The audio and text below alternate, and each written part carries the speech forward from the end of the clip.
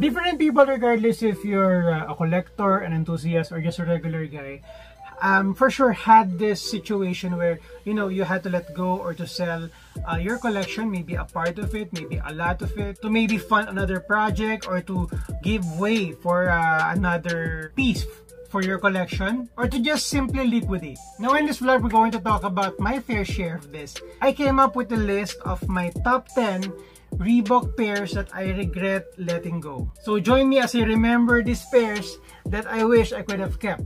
Let's go!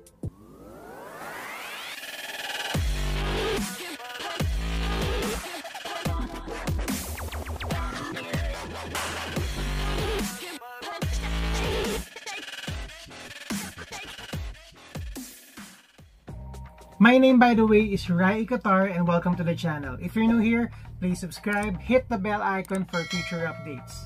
So let me share with you right now the top 10 Reebok pairs that I regret letting go from my collection. In case you're wondering, I'm doing Reeboks because it's Boktober, so happy Boktober to everyone who's uh, into Reeboks. So without further ado, let's begin this.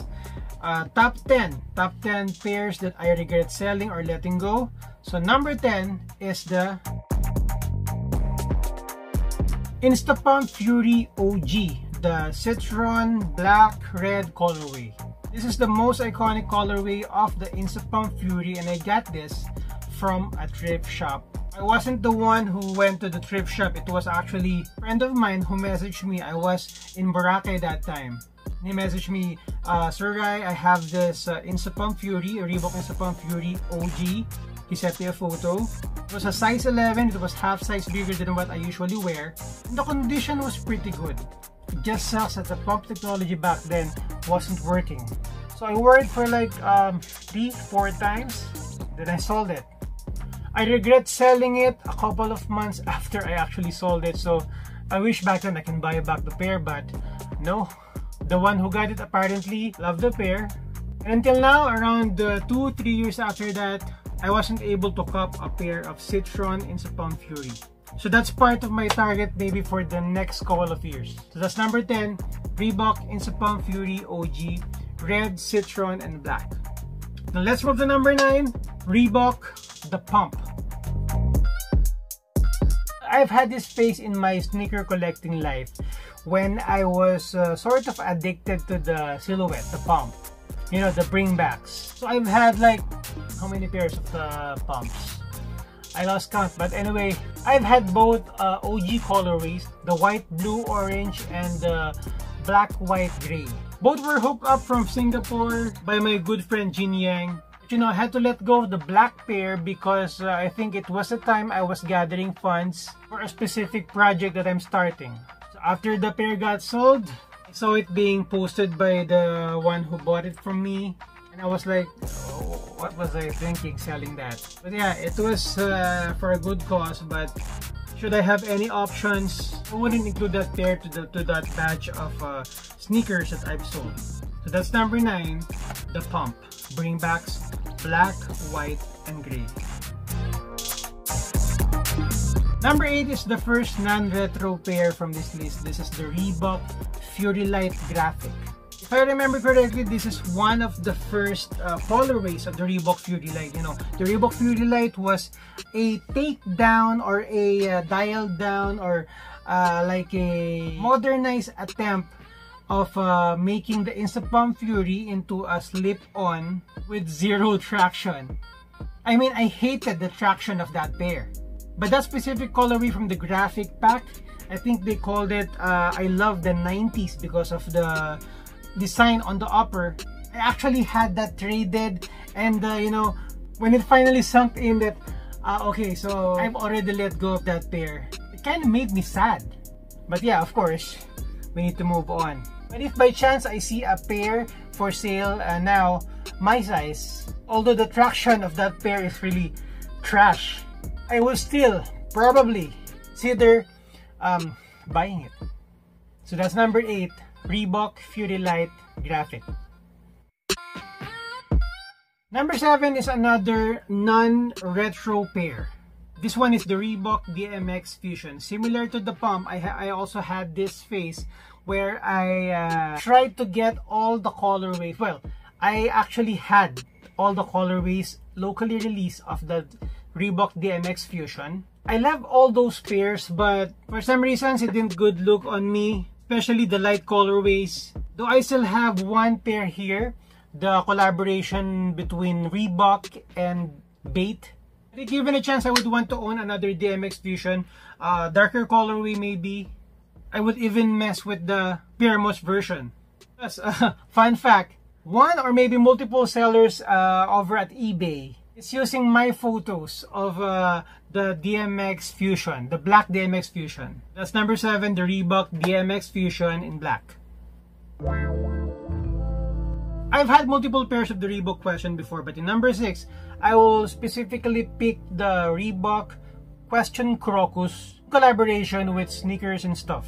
That batch of collaboration for me had the best quality of suede and craftsmanship. Well, I never had the other one, the Reebok question, Assure About Nothing. But yeah, among the Reebok question pairs that I've had, that would probably the first one that I would want to acquire again. The Reebok question, Sneakers and Stuff, Crocus. Number 5 is the Reebok Shaqnosis pair. Some of you may agree, some of you may not.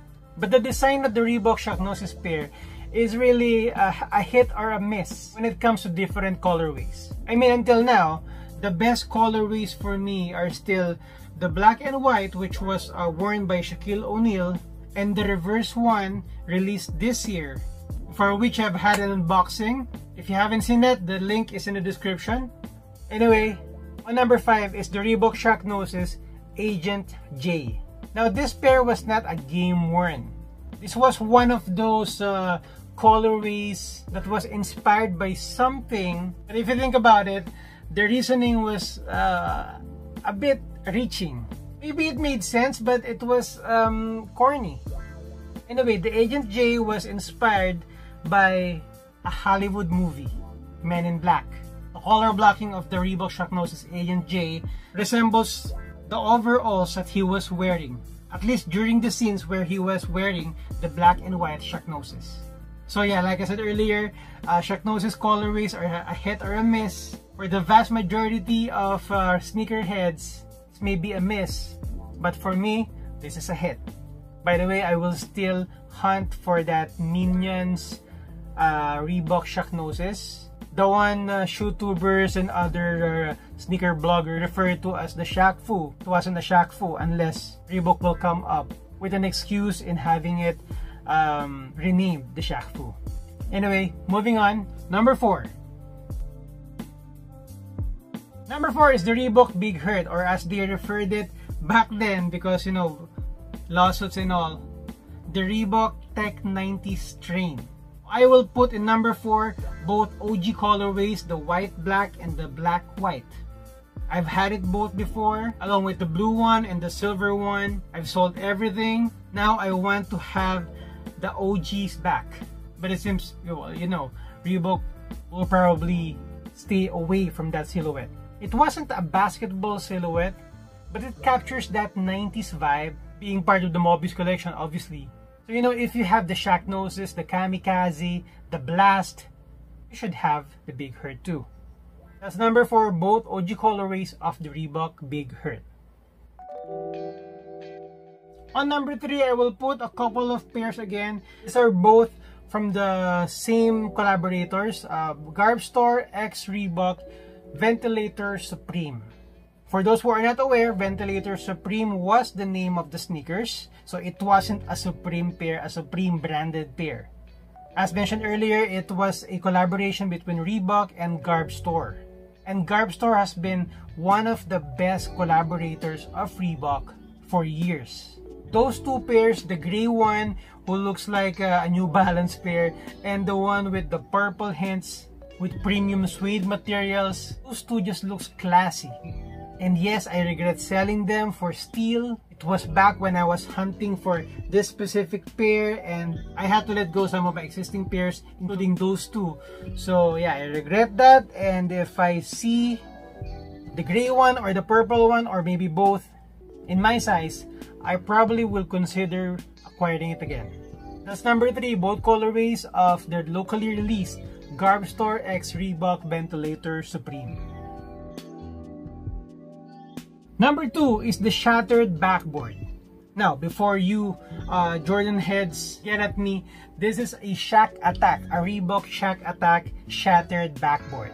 If there's someone who's worthy in having a signature shoe with the nickname Shattered Backboard, it is the one and only Shaquille O'Neal.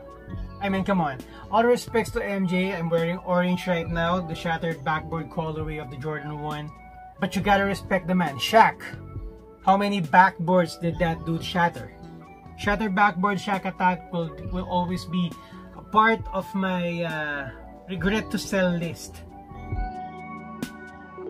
Number one is a classic leather. As you know guys, classic leather is my favorite silhouette uh, among all the Reebok classic line.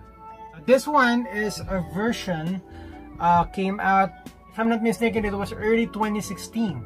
This is the Reebok Classic Leather in collaboration with Kendrick Lamar. Released only through Sole Academy, I was able to cop a pair from a reseller. Of course, I paid premium. Then something came up, I had to liquidate fast. So I sold it as usual. It was uh, below what I got it for. When I saw that in the museum of uh, DJ Big Boy Cheng, the deck, you know, I was brought back and I was tempted to ask uh, DJ Big Boy Cheng if uh, he'll uh, sell me the pair. Which reminds me, yeah, I will try to ask him one time. So yeah, that was my top 10 uh, Reebok pairs that I regret selling or letting go. How about you guys? For the Reebok enthusiasts, what are the pairs that you regret selling? Now, if you're not a Reebok enthusiast, if you're just a sneaker collector, what pairs, regardless of brand, do you actually look back and regret selling? Now, for those who are collectors of other stuff like toys, have you ever experienced this? You know, selling something from your collection, letting it go, and then afterwards regretting it? Comment down and let's discuss below. And while you're at it, please give this video a thumbs up, share this with your friends. Again, if you haven't yet, please subscribe, hit the bell icon for future updates. For you book enthusiasts, are you enjoying Booktober? How was the Booktober so far? And uh, yeah, for everyone, stay safe. And yeah, God bless you. I'll see you on the next one.